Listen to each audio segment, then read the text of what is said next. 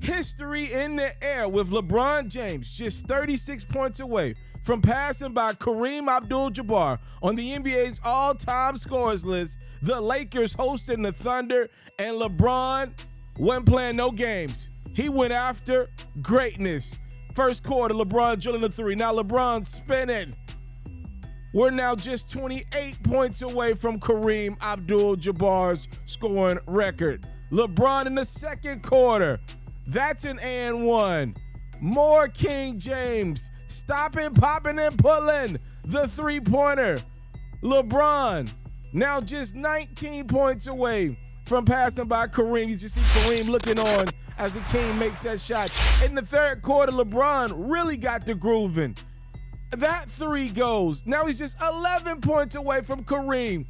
Next time down, another three falls. LeBron now just eight points away from passing by Kareem Abdul Jabbar. Transition, the Lakers go, which means give LeBron the basketball. Just six points away from Kareem. LeBron cutting back door. The record is just four points away. LeBron in transition again. Now LeBron just needs two points from history, and here it is. Coming to the end of the third quarter. LeBron James, a shot at history, LeBron stands alone! The NBA's all-time scoring record now belongs to LeBron James. And with point 38,388, LeBron now stands alone as the NBA's all-time leading scorer. You see the family watching, mama, wife, the kids watching their guy strive for greatness. LeBron emotional as the game is stopped. You see Jay Z showing some love to LeBron. He was an early supporter of the King. Laker great Magic Johnson showing some love to LeBron. LeBron admittedly modeled his game after Magic. The record is broken. There's still a game going on. You saw Russell Westbrook knocking the three to try to keep the Lakers emotionally invested in this one. It's not going to be enough, though, because Josh Giddey and SGA Shai Gilgeous-Alexander had other plans. The Thunder get the win. Obviously, LeBron's winning the war of nutrition as he finishes game with 38,390 points Congratulations to the King, your new all time leading scorer in NBA history. One of the biggest side stories in LeBron's big night was this lethargic performance from the Lakers. And I want to give them a pass for most of the game because be clear, the, the overall goal in this basketball game was to give LeBron the damn basketball. And everybody on that Lakers team knew there was a goal to to make sure LeBron got this record on this night. It wasn't happening on Thursday against the Bucks. Don't even get me started. I'll be at that Bucks game. This record was getting broke against the Oklahoma City Thunder on Tuesday night for LeBron James in front of his family, in front of his close friends, in front of some of his peers. It was happening against the Thunder. And it looks like the Lakers team as a whole, the coaching staff, everybody was on the same page with knowing that LeBron was breaking that record. That is a very tough task to still try to go out and win a basketball game when you're literally going like LeBron didn't enter this game 14 points away. He had to put up a big number. He ended up with 38 points. It took pretty much every point to get this record. Be clear about that. And he didn't even finish the game. He sat the, the last couple minutes due to foot problems or whatever. Like it took everything LeBron had to get this record in this game. And I'm bringing that up to say Anthony Davis was awful again. He's been up and down. And I and I count Anthony Davis not playing as awful, right? He misses entirely too much time. Um, no disrespect to the brother. I got res- uh, ultimate respect for him as a player when he when he's locked in. But a game like this one against the Thunder, he was non-existent. And I'm gonna be real with you. I wouldn't have been mad at Anthony Davis if he came out and was still aggressive.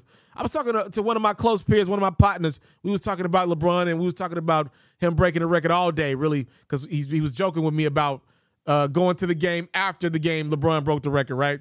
Don't even get me started. we were talking about what would be the, the mentality for LeBron going into this game. Would he be in his assist mode? Would he try to break the record in this one? Would he wait for Milwaukee? What would Russ's mentality be? What would Anthony Davis' mentality be? And we both knew Russell Westbrook would come in attack mode and be Russ. That's all he ever known to be. Even Russ, you know, gave LeBron, I felt like a couple extra looks than he usually does. But for the most part, Russ was still able to find his production and get his shots. But the guy who really struggled in the midst of this, finding himself as a number two, was Anthony Davis. He had no impact on either end of the court. Neither. And I've always told you guys this about AD.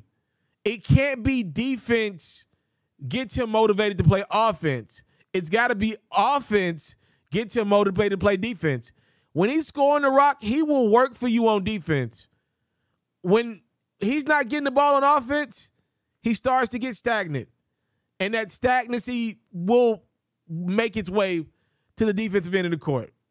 That's why it's important to give him guys like Dennis Schroeder, Rajon Rondo, guys that microwave that ball to Anthony Davis every possession down and never allow him to feel out of the flow of offense. Russell Westbrook actually tries to give Anthony Davis the rock, but Russ's entry passes sometimes they get tipped, oftentimes they get turned over you know, Russ's entry passes to Anthony Davis oftentimes are not low enough, are not clean enough, are not precise enough for, for AD to get to the comfortable spots that he wants to get early in shot clocks.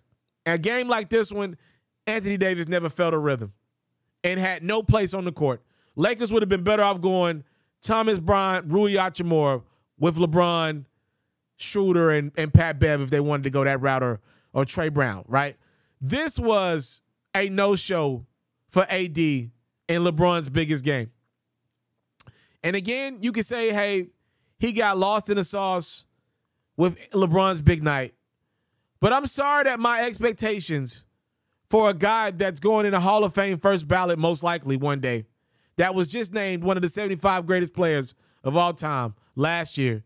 I'm sorry my expectation for him and his professionalism and his ability to still find his way in LeBron's big night, I'm sorry that I, I'm I'm finding it a little difficult to not give him any culpability or responsibility for his pathetic performance against the Thunder. That is not a good Oklahoma City Thunder team. And they're not playing a lot of defense. And they're missing a couple key guys on defense.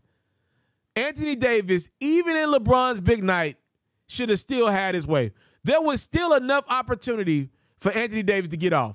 He chose to take that game off. And right now we're in a position in time. Well, this is the first time you're going to hear me say this on this platform, but I do mean it. The biggest gift Anthony Davis could give LeBron James and the Los Angeles Lakers right now is demanding a trade out of LA. The Lakers need him gone.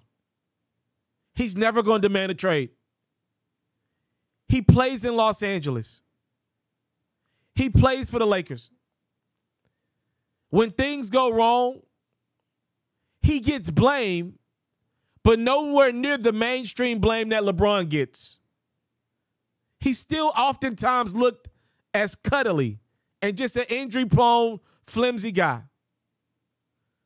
He'll never demand a trade out of LA. He's comfortable. He lives there. Life is good even as a number two for an underwhelming Lakers team.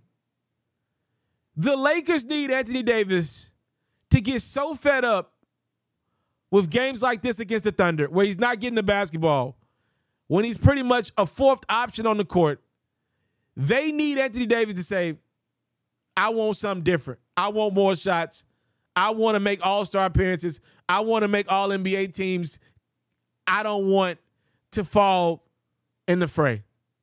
I don't think he'll demand out, but right now, the greatest gift that Anthony Davis could give the Lakers is demanding a trade out of LA so the Lakers can start this thing fresh with a player that would be, I don't even know if he's got to be younger, but uh, obviously a lot more easier on the legs, less injury prone, and committed to winning. like as committed as LeBron is to winning. Like in the middle of January, playing against the New Orleans Pelicans. In the middle of March, playing against the San Antonio Spurs. Being there for the playoffs. The Lakers need a real number one. Because right now, what the Lakers got, they got two guys trying to be father time. Now, one of those guys is 20 years in and just passed by Kareem Abdul Jabbar for the most points ever and has got four championships. The other guy does have a championship, but he's only around the age of 30, a lot less minutes, a lot less playoff minutes, but he's right there. It feels like physically with LeBron's body. They're both getting older, but LeBron still looks at least six to seven years younger than AD, if that makes any sense at all. But they're both on the back end of their prime. But one should be on the back end of his prime. The other guy should just be entering his prime alongside his other greats in his peer group, like Giannis, like Jokic, like Embiid. The Anthony Davis story in LA has become pretty sad. And if he really wanted to give the Lakers one last parting gift, it would be demanding a trade away from LeBron James and the Lakers right now and allowing them to start over. But I don't think he's going to do that.